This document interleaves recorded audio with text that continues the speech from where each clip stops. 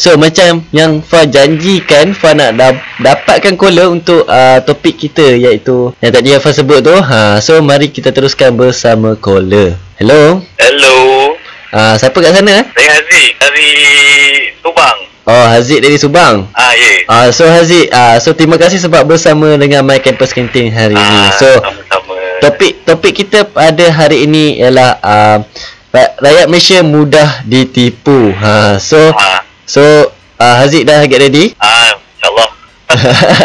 so ah uh, nombor satu soalan dia uh, so adakah rakyat Malaysia kurang membaca so sebab itulah boleh berlakunya penipuan yang macam ni betul ke Rasa uh, betul jugalah. Macam uh, kurang common basic knowledge. And then Mhm. macam mudah mudah terpedaya lah. Macam especially umur 30-an ke atas lah. Sebab Mhm. kalau tengok dekat FB lah banyak. Benda-benda yang kadang-kadang benda yang tak betul pun.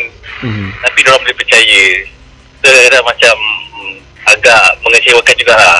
oh sebab dia Ah, kalau kalau kalau ya contoh macam um, yang tak boleh yang pekak ni maksud saya uh, mas, masuk faham macam uh, buta ke macam mana macam mana Kalau pula buta um, Tak tahu lah cakap Maybe diorang ada diorang punya Sumber diorang sendiri tu kita tahu lah Diorang macam mana diorang gain knowledge kita tahu lah Diorang kan ada tulisan braille kan Ah, Maybe ah, ah. uh, Diorang ada diorang punya sumber-sumber ke Dan diorang ada kawan-kawan diorang ke Then, uh, Maybe Ah. macam tu lah lebih kurang lah Tak Ah. pasti Ah, Okey Aziz ha, Okey kita jump ke next soalan terus Adakah kita Ah. patut mendengar arahan dari mereka yang berstatus Masuk fah yang berstatus uh, yang tinggi lagi lah daripada Yang macam Dia- datuk ke apa ah lebih kurang datuk lah ha. Tengok jugalah Kalau menteri pun kadang-kadang pun tak boleh pakai juga Senang kata um, lebih baik kita ada ilmu lah daripada kita dengar cakap orang kan Dan orang pun percaya pun orang saya cakap je dia orang cakap bukan berdasarkan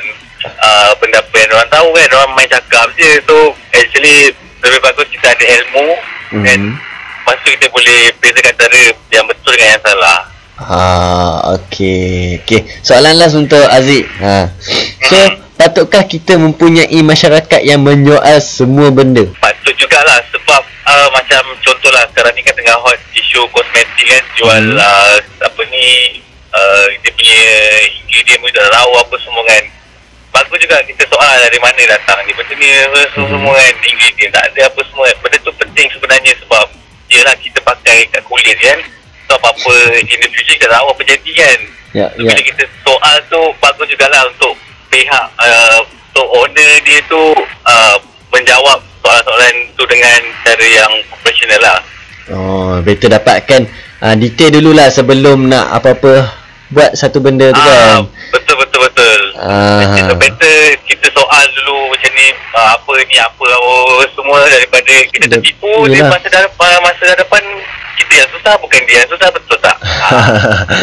Okey, so itu sahaja soalan-soalan yang nak kemukakan uh, untuk Ah, Aziz. So terima kasih. awak. Okey, terima kasih Aziz uh, sebab bersama Ah, dengan. Makan Radio. Okey. So, seperti biasalah macam Fast sendiri Fast akan kemukakan pendapat Fast sendiri tentang uh, tentang scammers ni kan. Uh, so sebenarnya cerita, scammers ni memang tak baik dan tidak gejala yang tidak sihat. Korang ha kalau korang tipu orang pun korang kat kena. So nasihat Fa kat sini kalau korang nak tahu uh, pentingnya benda penting pula. Uh, so kena elakkan lah sebenarnya. Ha dari kita kena tipu ni. Sebenarnya ada macam-macam cara kalau kau nak tahu.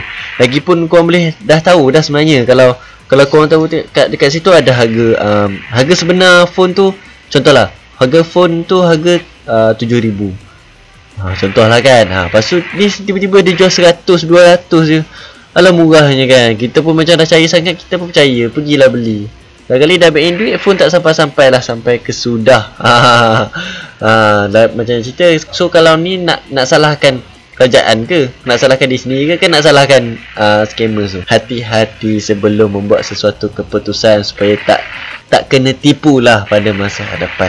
Ha, So susah pun susah korang Bukan susah si scammer tu. Si scammer tu dia Ayat manis sangat-sangat And then korang yang kena. Ha, So berhati-hati kalau nak buat sesuatu transaksi Ataupun apa-apa benda yang murah Ataupun benda yang mudah nak dapatkan duit ha.